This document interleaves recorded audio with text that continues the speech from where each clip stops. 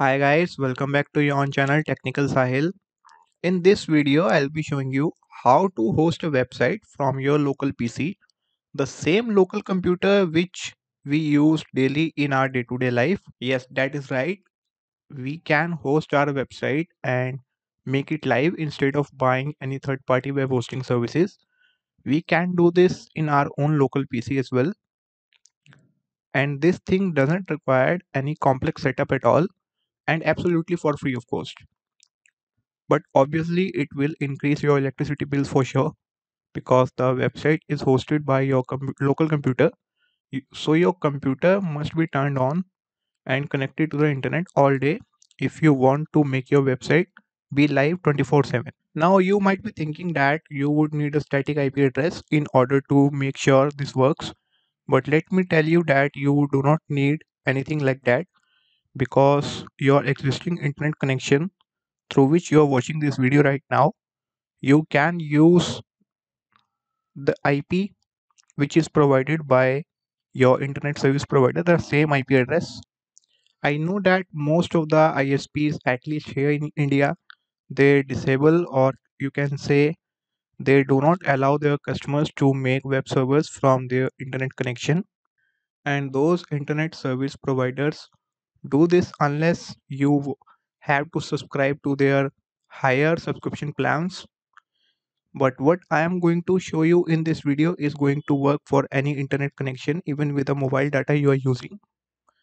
You just need to have a static IPv4 in order to make this works. So without wasting any time, let's get started. So in order to make any local PC as a web server, we have to install several computer programs which are basically uh, softwares so that it can host or in other words it can serve the website that you want to host whenever someone sends a request.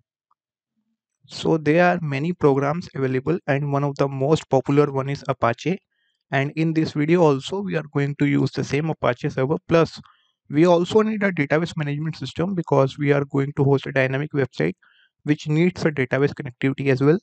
So we will be using MySQL database as our DBMS. But before this, if we want to see the Without these computer programs installed in our local PC, our local PC which is currently connected to internet as well, whether it responded to our web request sent by us or not. So to check this, we simply need to find out our IPv4 which we we can find inside our internet connection properties. And we just need to copy that IPv4 from here and paste it into our web browser. And as you can see it's showing us the website can't be reached now. And of course we have not installed any program yet which is required to make any personal computer as a server and guys in order to install a complete package of all those programs you could just install XAMPP software. XAMPP is a combined bundle of Apache web server MySQL or you can say MariaDB, PHP and Perl. And to download and install XAMPP we simply need to search download XAMPP in our web browser and press enter and click this first link from the search results which is apachefriends.org here it is showing us the available versions. And guys XAMPP is supported by all three major operating systems such as Windows, Linux and Mac OS and Mac OS so in my case I am using a Windows computer so I need to download it from this section. And guys make sure to download the latest version whatever it is at the bottom in your time? Because it will change according to the new updates. And make sure to download the latest until and unless if you have any specific PHP version requirement for your project. And after selecting the version click on this download button and it will just start downloading within few seconds as you can see on the bottom of my screen The size of this software is 146 MB, which means you can install this on a PC which is having some low configuration as well. So I am fast forwarding till then it finishes the downloading. Alright guys, the download has been completed. So now we just need to open this and run it as administrator. At first you can ignore this warning and click OK and it would bring up the installation wizard where you need to click next and as I said earlier XAMPP is a complete package of all those computer programs that we need to make any normal PCS server so it's our choice either we can download them one by one separately from the official websites and install them selectively through XAMPP like I am doing in this case. We are just making this computer a web server to host a website. So we don't need this Mercury mail server and we don't need this Tomcat and fake send email as well.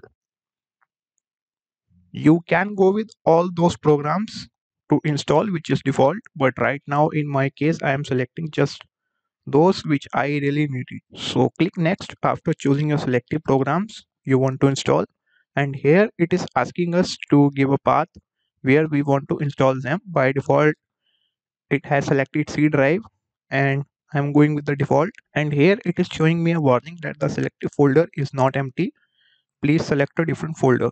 Guys it is showing me this error message because XAMPP was already there on my PC and I have uninstalled it for creating this video. And while uninstalling it may be some old files remain in my C drive inside XAMPP folder. So after clearing this folder it won't show me any error again I guess. If you are installing for the first time and your XAMPP folder may be already empty so you won't see any error like this. So if I try again and now as you can see it has not showing me any error and redirected me to the next window and here it is asking for select a language there are only two available options and I am going with the English which is default and click next. Again click next. And here you can see it has started the installation. It will take some time like 10 to 15 minutes to complete this installation. So till then I am again fast forwarding this video to save some time. So it has finished installing the XAMPP and if you click on this finish button it will automatically brings up the XAMPP control panel which look like this and here you can see there are different services available for now we just need these first two services which are Apache and MySQL but guys the control panel has opened this automatically so where we can find this to open it for the next time because it will not create any desktop shortcut. To see this, let's close this for now and search XAMPP inside the Windows search bar. And here you will find this control panel to open it again. So you can just start these two services by clicking on the start button. Apache, as I said earlier, is our web server and MySQL is our DBMS. And this green color indicates these two services has been started without any error. So if we try again visiting our IPv4 address, which is provided by our ISP, and there you go. It's showing us a default page of XAMPP. Earlier it was showing us the error. Uh, this site can't be reached, but now it's showing the default page of XAMPP and to access phpMyAdmin we just need to click here. And here is our phpMyAdmin exactly same as we get inside cpanel of our web hosting. And here if we stop the running services from XAMPP control panel and if see it's still working or not. So as you can see now it has showing us the same error as it was showing at the beginning. So guys with this existing setting of XAMPP which has comes up by default we always have to open our XAMPP control panel and start the services again and again. But if we do this setting like first finding the XAMPP folder which is inside C drive and here at the bottom we need to right click this XAMPP control exe and run it as administrator. So instead of every time manually starting these services click this config button on the top right corner and from here you can select the services which should start automatically. Like I am selecting Apache and MySQL and click save now. If we close this program and open it again so as you can see the selected services has been started automatically. And as these services are running so if we again refresh this page you can see now the IP has again started serving the HTTP requests provided by us and they redirected us to the default XAMPP page. Now guys our goal in this video is we want to host a website and to connect this IP to our domain in order to access that website from our domain name. So we first need to delete all these default XAMPP file and folders and for this we first need to go inside the XAMPP folder and go inside this htdocs folder and guys this is the folder which is our public root whatever website we want to host we need to copy all the files here inside this folder in order to make make it accessible. Like first i am deleting all these existing default files and folders except this index.php and inside this index.php i am writing a php code a small php code which prints thanks for watching this video.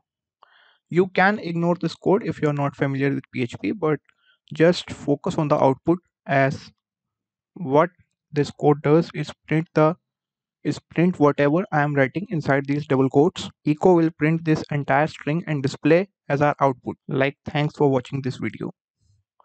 And if i save this file and reload this page so you can see it has showing up the text as our output. The same which we have typed here. And if we modify this line like adding stay tuned and again if we save this file and refresh now you can see it has updated the output and guys this was just to show you that it is executing our php code but this was just a simple code which has no interaction with our database now to show you how we can host a dynamic website and for this we are gonna install WordPress. But let me delete this file from here first. And in order to install WordPress, we first need to download the WordPress. And for which we need to visit this website wordpress.org and click this get WordPress button which is on the top right corner. And from here we need to click this download WordPress button. It's showing the latest version 6.1.1 maybe it will change in the future so whatever it is we need to download and it will download the latest version of that particular time period. So just like XAMPP it has started downloading the file and it has completed in just fraction of seconds. So first we need to extract this zip file like this.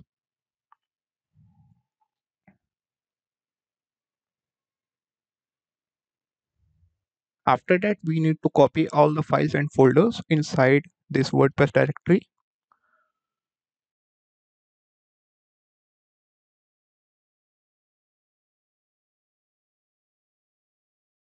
and paste it inside our htdocs folder.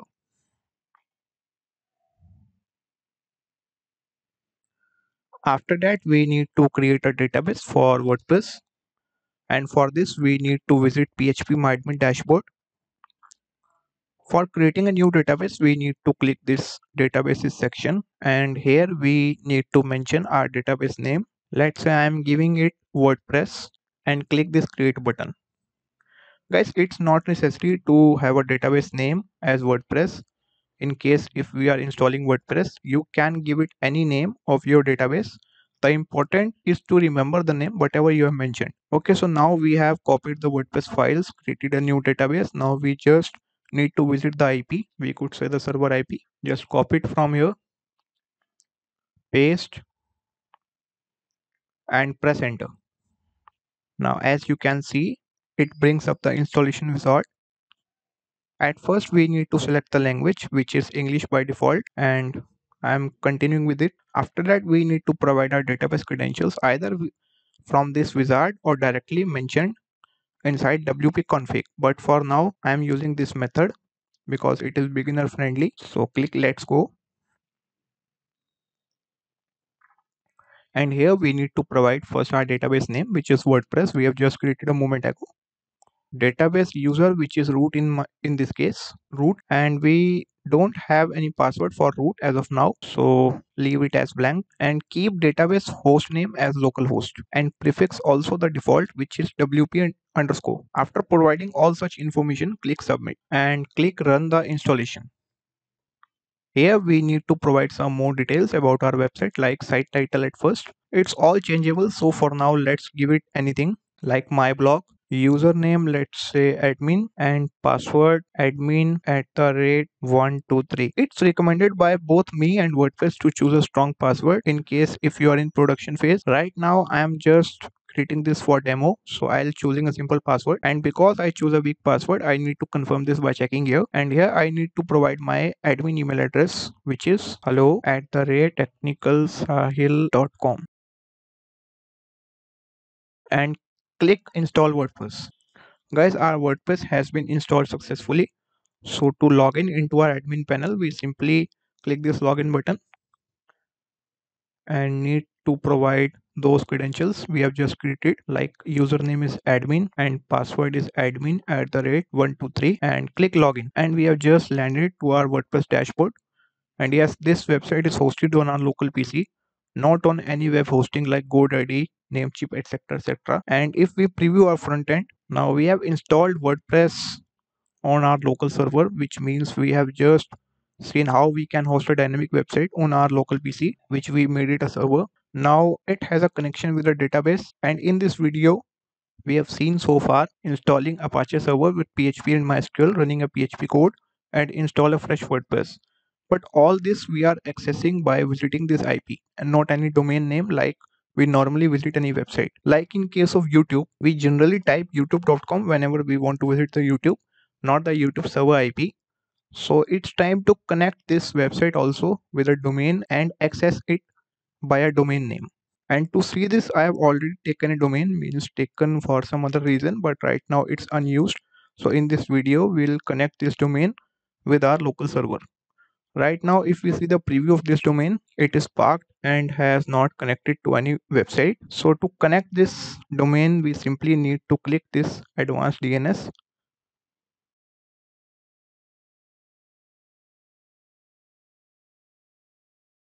And clear all these existing records if you have. And click add new record. Select a, a record in type and type at the rate inside host. Inside value paste the same server IP which is our internet connection IP and in TTL leave this as default which is automatic.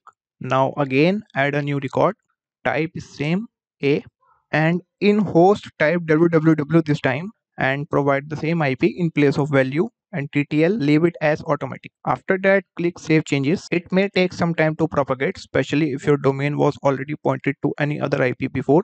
But in my case it's a fresh domain so hope it will not take more than a minute. But as you can see it's still showing me the parked page. Okay let's try opening this in a new tab. And now we don't have to visit our website through our IP address because our domain is connected with our local server IP successfully and not just this website we can try to visit phpMyAdmin through domain as well. What we need to do is simply put a forward slash after .com and type phpMyAdmin and we can access our phpMyAdmin with our domain name. And if we stop these services from XAMPP and try it would be no longer accessible at all. And if we start these services again this time we don't even need to refresh the page so guys in this way you can make your home pc as a web server and can host a website without purchasing any third-party hosting services. In my opinion this can't be considered as cost saving method because the amount you are not paying you're saving from the hosting provider the same amount you have to pay for the electricity bills. But yeah this method is good in case if you want to protect your data and want to get rid from the rules and regulations of the web hosting providers. So this method is good in that case. That's all for this video. Uh, thanks for watching. And yeah don't forget to subscribe this channel if you like to see videos like this. And and and wish you all a very happy new year. Stay blessed and stay safe